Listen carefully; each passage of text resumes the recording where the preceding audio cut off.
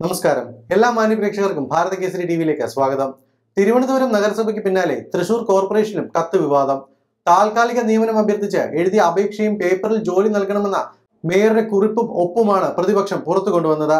അതേസമയം നടപടി താൽക്കാലികമാണെന്നും employment exchange മുഖേന ആളുകൾ എത്തുമ്പോൾ ഇവരെ മാറ്റുമെന്നുമാണ് മേയർ എം കെ വർഗീസിന്റെ വിശദീകരണം. സെപ്റ്റംബർ ഒന്നിന് താൽക്കാലിക ഡ്രൈവർ തസ്തികയിൽ ജോലി വേണമെന്ന വെള്ള പേപ്പറിൽ എഴുതിയ അപേക്ഷയാണ് മേയർക്ക് ലഭിച്ചത്.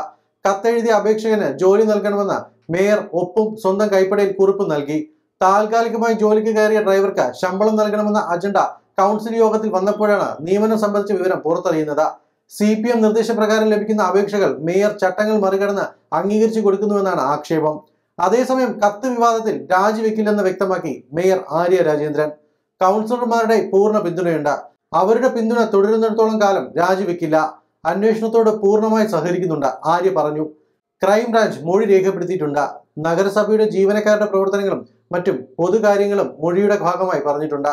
അന്വേഷണവും മറ്റു നടപടികളും സ്വാഭാവികമായി മുന്നോട്ട് പോകും ആര്യ കൂട്ടിച്ചേർത്തു. കഴിഞ്ഞ അഞ്ച് ദിവസമായി നഗരസഭയ്ക്ക് അകത്തും പുറത്തും നടക്കുന്ന പ്രതിഷേധങ്ങളെക്കുറിച്ചും മേയർ പ്രതികരിച്ചു. പ്രതിപക്ഷത്തിന്റെ രാജി ആവശ്യം ബാലിശമാണ്. പ്രതിഷേധിക്കാനുള്ള അവകാശം എല്ലാവർക്കുമുണ്ട്. ഇത്തരം സമരങ്ങളിലൂടെയൊക്കെ വളർന്നു വന്നവരാണ് നമ്മളും. ഓരോ ദിവസവും പ്രതിഷേധിക്കാൻ എത്തുന്നവരുടെ എണ്ണം കുറയുന്നതും കാണാവുന്നതാണ്. ജനപിന്തുണയില്ലാത്ത സമരമാണ്. നഗരസഭയിൽ വിവിധ ആവശ്യങ്ങൾക്കായി എത്തുന്നവരെ ബുദ്ധിമുട്ടിക്കരുത് മേയർ പറഞ്ഞു. വിശദീകരണം ചോദിച്ചുകൊണ്ടുള്ള ഹൈക്കോടതിയുടെ നോട്ടീസ് കൈപ്പറ്റിയിട്ടില്ലെന്നും ആര്യ അറിയിച്ചു. കത്ത് ലഭിച്ച ശേഷം വിശദമായി പരിശോധിക്കേണ്ടതുണ്ട്. മേയറുടെ ഭാഗം കൂടി കേൾക്കണമെന്ന കോടതിയുടെ നിലപാടിൽ നന്ദിയുണ്ട്. നടപടിയെ സ്വാഗതം ചെയ്യുന്നു. കോടതി പറയുന്ന ഏത് അന്വേഷണത്തോടും സഹകരിക്കുമെന്നും ആര്യ വ്യക്തമാക്കി. കട്ടപണവുമായി മേയർ കുട്ടി കോഴിക്കോട്ടേക്ക് വിട്ടോളൂ എന്ന ജബി മേത്രയുടെ പരാമർശത്തിലും ആര്യ മറുപടി പറഞ്ഞു. ഒരു വനിതാ എം പി തന്നെ അതിന്റെ ഭാഗമായത് വേദനിപ്പിക്കുന്ന കാര്യമാണ്. ഉത്തരവാദിത്തപ്പെട്ടവർ ഇങ്ങനെ പറയുന്നത് ശരിയല്ല.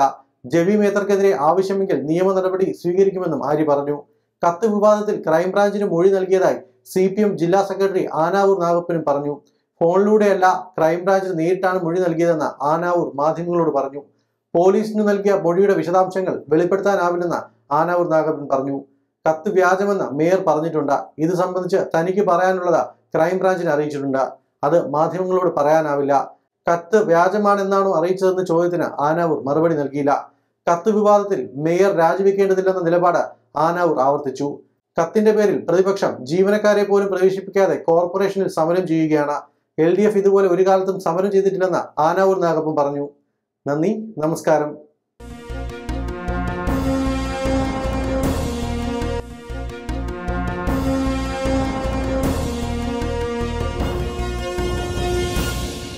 ചാനൽ സബ്സ്ക്രൈബ് ചെയ്യാത്തവർ ഉടൻ തന്നെ സബ്സ്ക്രൈബ് ചെയ്യുക. ബെല്ലൈക്കൺ കൂടി ക്ലിക്ക് ചെയ്താൽ ഞങ്ങൾ അപ്ലോഡ് ചെയ്യുന്ന വീഡിയോകളുടെ നോട്ടിഫിക്കേഷൻ ഉടൻ തന്നെ